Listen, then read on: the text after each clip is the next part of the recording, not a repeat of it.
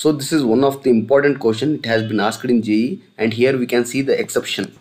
Exception in inorganic chemistry right? So this is very important. Just concentrate on this. So here they have given this uh, complex cobalt complex cobalt oxalate complex. So in four options all the four options they have given the same complex right? So what we can do if i discuss thoroughly about this complex we can easily solve whether it is paramagnetic or diamagnetic and also we can understand whether it is inner orbital complex or outer orbital complex right? So let us uh, look into this example in detail right? Cobalt oxalate thrice 3 minus right? So the given complex is this one. Cobalt is there. It has got oxalate. C2o4 thrice. So 6 minus and here it will be 3 plus. So overall charge will be 3 minus. So the oxidation state of cobalt here is 3 plus. This much i i guess you know right? So i know iron next comes cobalt. Its atomic number is 27 so electronic configuration is argon 3d7 4s2 right. Since here cobalt is in plus 3 oxidation state so what i will do?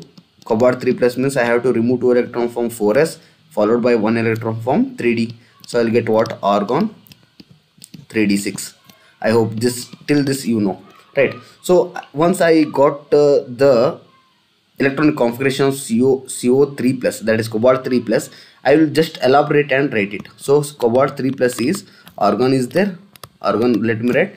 3d6 instead of writing 3d6 I will write d 5 orbitals are there. Dxy dyz dzx dx square minus y square dz square. And here next comes 3d next 4s and 4p these will be empty.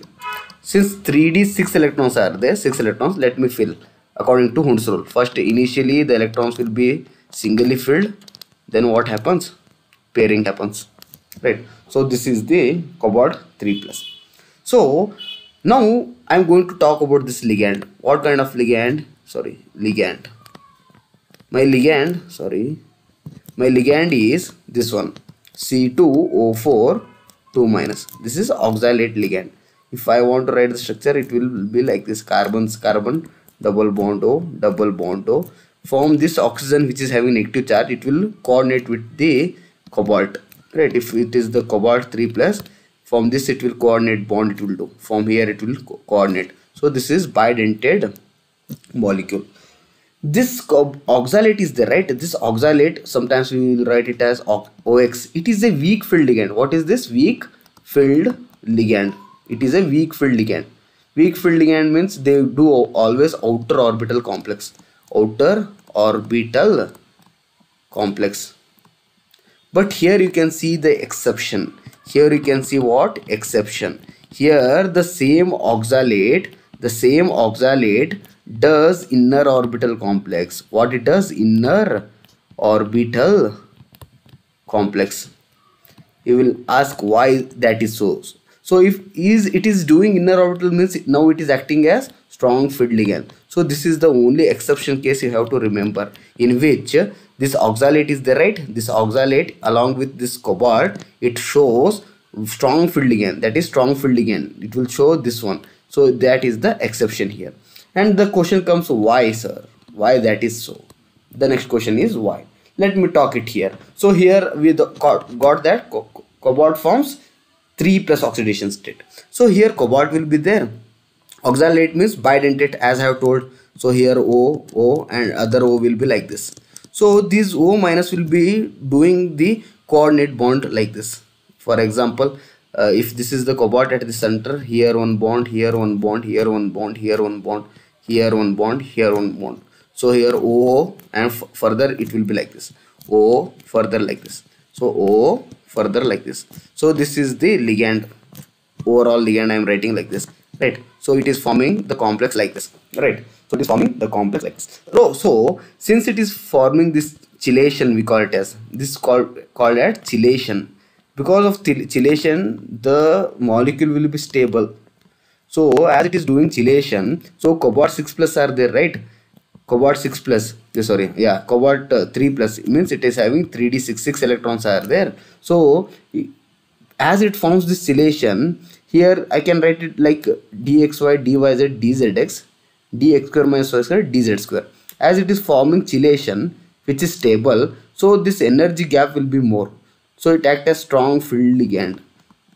So here what? Energy gap is more. Six electrons will be filled like this. One two sorry one here no pairing happens initially. One two three four five six. Because of this uh, crystal field splitting is more.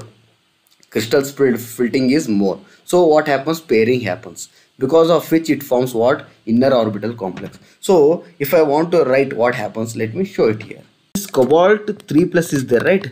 So it is what? Argon 3d6 so this 3d6 are like this. 1 2 3 4 5 orbital d orbital 6 electrons. 1 2 3 4 5 and 6 electron as cobalt here it is chelation. It is doing chelation stability. So these electrons will move like this. So this electron moves like this. So i'll get like this. So this is 3d here pairing happens. So only in this case it act as what? Strong field ligand. Other two orbitals remain uh, empty here 4s is empty and 4p is empty. So here 4s is also empty 4p is also empty. Since see in this complex if we can see that 3 oxalate ion is coming 3 oxalate. Because one oxalate OX will give what? It will give around 4 electrons. 2 form 1 oxygen 2 form 1 oxygen other 2 form other oxygen. Because it is a bidentate.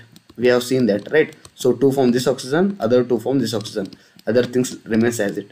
So total 4 electrons. So uh, he, here let me change the color of the pen and I will show it to you. Right.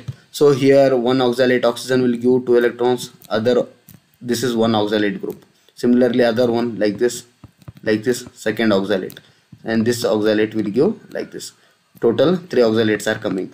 So here what happens? Here d2 s p3 because it is 4s 3 orbitals. So 3 3p here 4s 1 orbital 1 here 3d 2 orbitals so to 2 so here 2 d orbitals 1 s orbital and 3 p orbital. So it is what d2 sp3 hybridization.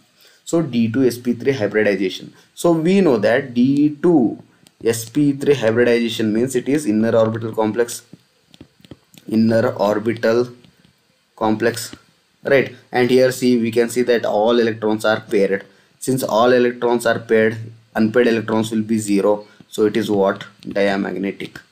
So it is what? Diamagnetic. So because of this reason uh, the correct op option for this answer is this one. See uh, first it should be inner orbital complex and diamagnetic and inner orbital complex. So d option is the correct option see a is paramagnetic wrong. B is outer orbital complex wrong. C is outer orbital complex and paramagnetic both are wrong.